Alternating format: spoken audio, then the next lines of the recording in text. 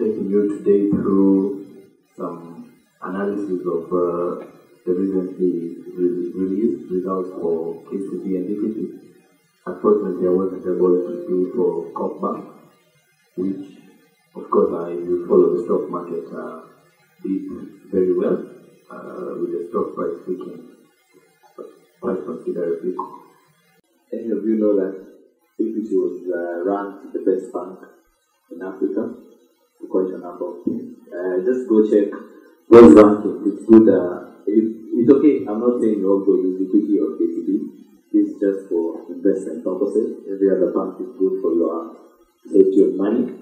But uh, I, I mean, it's always good as an investor if you're going to own these stocks uh, to know your bank, know what they're good at, so that you're not just investing in a stock because uh, someone someone says uh, KCB has this, EPT has this, or anything of the sort. So uh, just a quick look um, at the results that were released uh, within the month.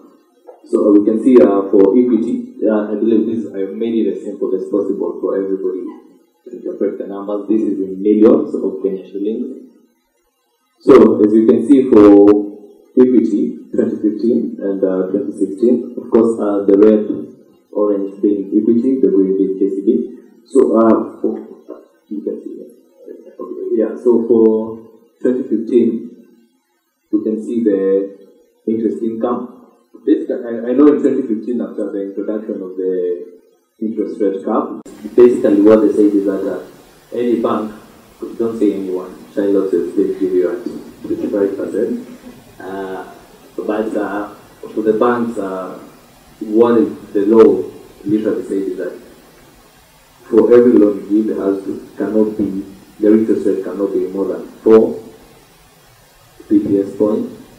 That is 4% above the CBR rate, the current CBR rate. And for every, for the deposit, that is 70% of the same CBR rate. Of course, our banks, I, I think over time, as you'll see, let's just look at the interest expense. When you look at that's um, row 9, for the interest expense, you'll see, for example, for equity, 2015, uh, it was um, 9 billion, 9.3 billion, and in 2016 it's 10.0 billion. Now, given that law that um, 70% of the CBR rate is going to be paid on this deposit, yeah, and then you look at the number of the amount of deposits these banks have, you'd expect that to gone way higher. So of course, banks, I think uh, one thing we should note is that found a way to separate these so that if you have your money in a current account, you're not just expecting. Yeah, don't be thinking you'll go to your bank and tell them to give you that. Yeah, that rate that is uh, if we have to go by the CBR rate of seven of ten percent, which makes it seven percent, will be paid on specific accounts. I think uh, the aside as uh, savings account or accounts where you've locked money in for a while. Yeah, because before I mean for such accounts they were paying as low as uh, you know two percent was a good one, but now for seven percent is for specific accounts.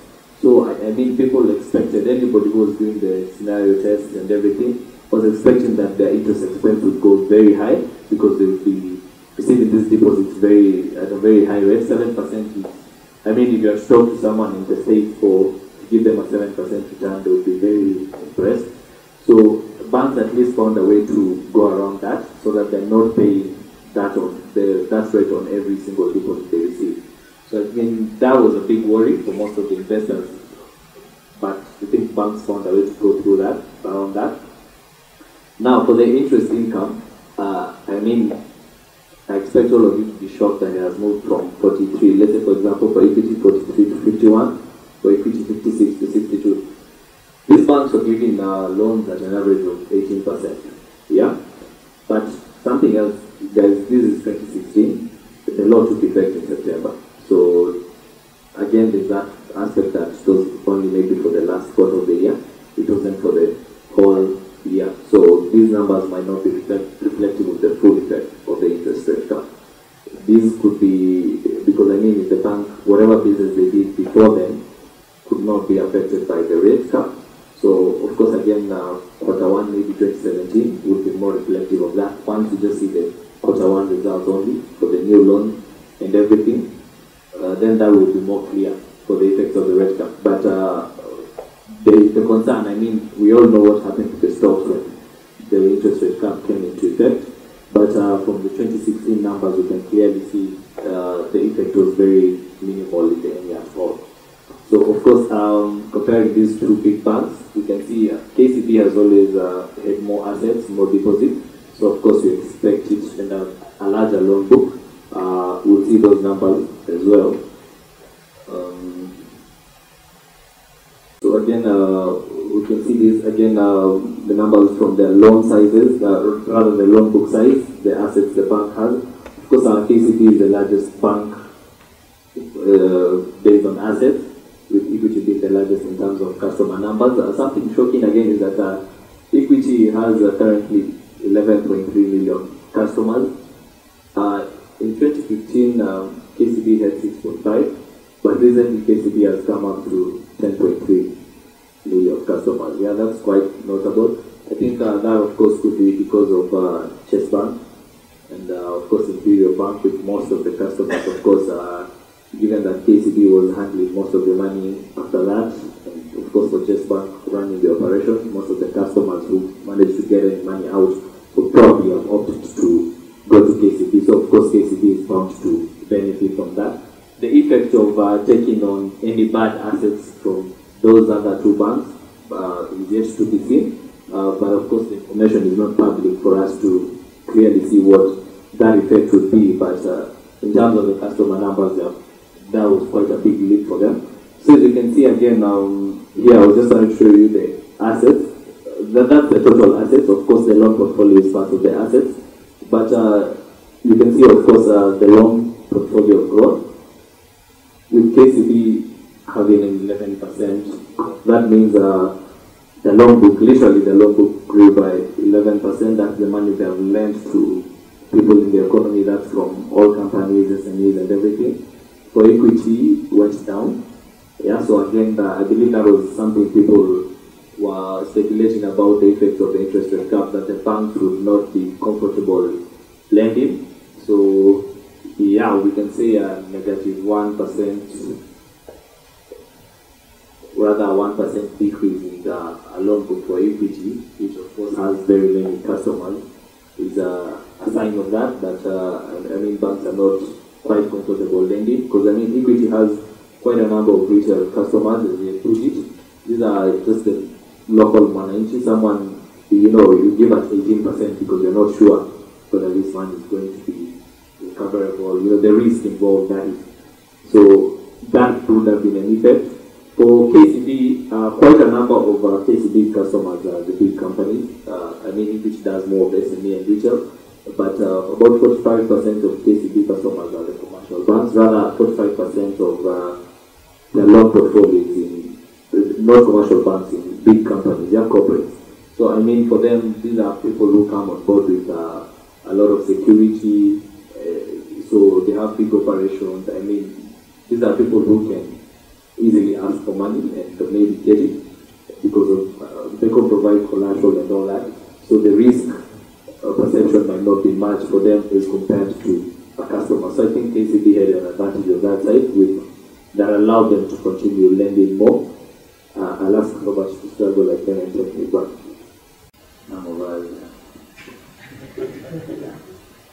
Uh, so mm, back to this, uh, the non-interest income. So the non-interest income is uh, basically what they get uh, from transaction charges. Um, yeah, now that we're, we're, we're Bitcoin savvy, can say mining charges. Uh, so this is what uh, these banks charge us for every transaction. I mean, you've had the guy say that he's going to pay $0.42 for sending about uh, 690. If you convert to Kenya shillings, it's 690 and you pay 42 bob. Uh, how much you pay for M-Pesa, I mean, I don't know, uh, for that amount, it is equivalent. Uh, okay, could be less, could be more. Uh, non-interest income, this is what uh, the bank gets from commissions, uh, from uh, transaction charges. So as you can see, uh, this has also grown, but uh, not so much. I mean, uh, 1% movement is not uh, something we can really talk about much, but Uh, we expect it to move for equity, I mean, uh, from Equitel. Of course, equity, for equity, uh, the, the channels that we generate this would be transaction charges from Equitel, like, as well as from Safaricom, how they get money from M-Pesa charges and all. So for equity would be from Equitel, from, I mean, every time you withdraw from uh, an ATM, every time you use an agent, agent commissions, any any time you of course uh, withdraw over the counter, oh, that's free, sorry. Yeah, but uh, all those charges are what uh, accumulates to this. Maybe put a percentage of that or what gives them the total money, but that's where we stand. Then you can see the operating income for the two banks. This is basic, basically as we do this analysis, kind of look at this as uh, two companies you're looking at to invest in. Any questions you have about the numbers? This is, uh, I believe this is a very key analysis you should do for any company before you invest so that at least you have a feel of where the numbers are going. Preferably do this for three years, but if there are, of course, uh, big checks in the system, that would have a, a big effect. So the profit before tax, uh, we can see for PC, for, sorry, for, okay, for, for equity, we can see it moved from 23 to 24 billion, for KCB moving from 26 to 29.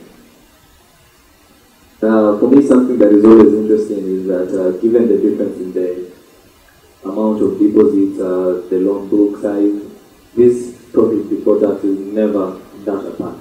Yeah, given, but I mean, 3 billion difference is, well, let's say 2.5 is billion is quite considerable, but I always expect it to be bigger given the size, the difference in size of the of the loan portfolio, rather the assets and the deposits as well. So something that has been you know um, in the talk for a while, uh, non-performing loans.